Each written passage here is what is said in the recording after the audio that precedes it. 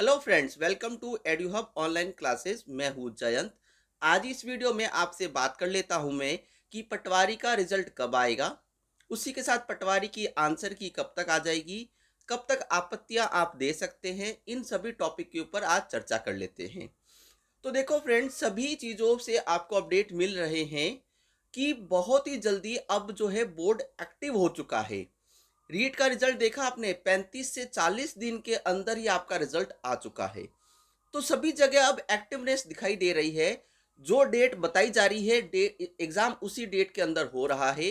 तो इसलिए आप लेजीनेस को छोड़ते हुए अपने स्टडी पे फोकस करें। ये 2021 का एंड जाते जाते आपको जॉब दिला के जा सकता है दोस्तों।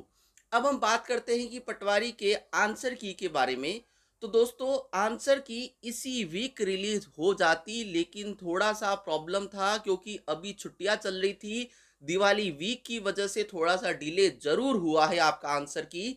लेकिन आप अपने आंसर की को 15 नवंबर से पहले पहले या बुक कर लो 15 नवंबर तक आपको जो है आंसर की राजस्थान कर्मचारी चयन बोर्ड की वेबसाइट पर मिल जाएगा।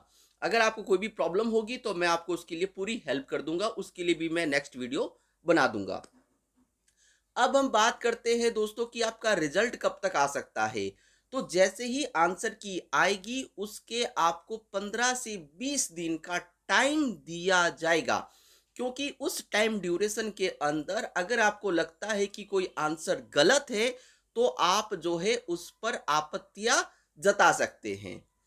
ये प्रोसेस होने के बाद आप मान लो 15 दिसंबर 15 दिसंबर तक आपके रिज़ल्ट आने की पूरी पूरी संभावना है। मतलब इसी साल के एंड तक आपको गुड न्यूज़ मिल जाएगी, आप पटवार बन जाएँगे दोस्तों। 15 दिसंबर तक जो है फिक्स ओ फिक्स है, आपका रिज़ल्ट जो है आ जाएगा। तो दोस्तों, अगर आपको वीडियो अच्छा लगे तो प्लीज़ लाइक शेयर और सब्सक्राइब ज़रूर कीजिएगा। Thank you have a nice day bye